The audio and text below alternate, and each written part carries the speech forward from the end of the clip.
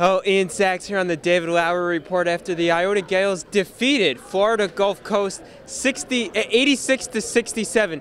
Dave, uh, big bounce back win tonight. Uh, what, what was different tonight as uh, as opposed to last game? Um, I think we shared the ball more. Myself in particular, we were getting the ball out of our hands, and everybody was touching it early, and you know everybody got going, and we played. We locked in on defense today. Dave, yourself, 23 points, eight rebounds, three assists tonight.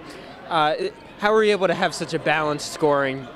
Um, just trying to do a little bit of everything, and whatever my team uh, needs me to do, I was just I was just doing that really, really just playing off AJ tonight. He got it going early, and I was just trying to you know get in where I could fit in, and that's what I tried to do. AJ leading the way for you guys, 27 points.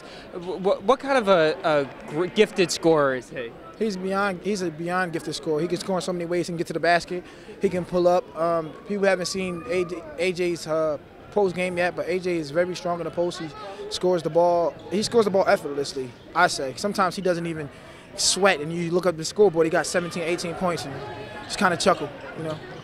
And now uh, today, a very good offensive game, only seven turnovers. How can you build off of this going heading into the, your final non-conference games and then into the MAAC play? Well, continue to, to, you know take care of the basketball. That's one one issue that we had last game. We turned the ball over a little uh, too much, and, and, and that's always going to cost you. Even we lost by five. I'm going to say five points, and even with how poorly we played defensively, we still win that game if we cut down on them turnovers. And we just had about 18 turnovers. You never win a basketball game like that.